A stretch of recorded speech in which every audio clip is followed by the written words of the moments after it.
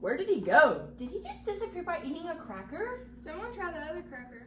Not it. Not it. I guess I'll eat it. Wait, you should take his crutches with you.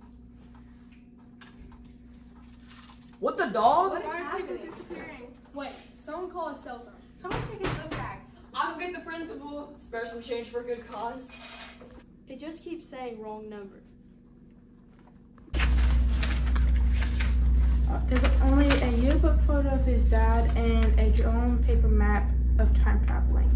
Miss Collins, Carl and Ron was eating crackers in class and they disappeared right in front of our faces. I think we need to call the police. Oh, you don't need to call the police. You just need the magic plunger. Thank you. Thank you, Miss Cost gave me a magic plunger. Maybe we can make a portal with it. Wait, make it out in the hallway. There's a lot more room out there. We all need to jump through the portal.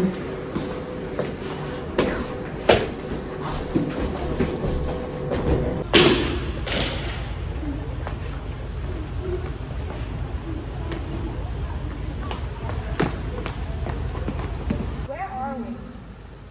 When are we? I think we're in the 1960s. Where did on earth did you hear that? Wait, I think there's hippies over there. Hey guys, have you all seen our friends? One has a broken foot and the other one is carrying crutches. I think they went that way. Thanks. Wait, I didn't get all of your names. I'm Daisy. I'm not.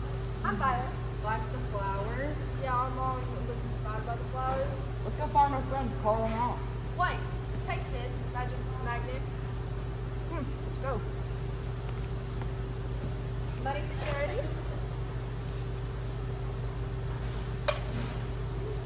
Look, there's Carl and Alex.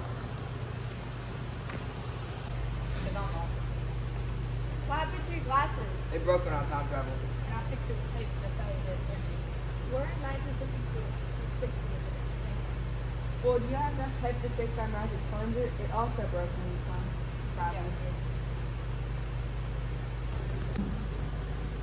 Now that the magic plunger is fixed, can we please go home? Sure thing.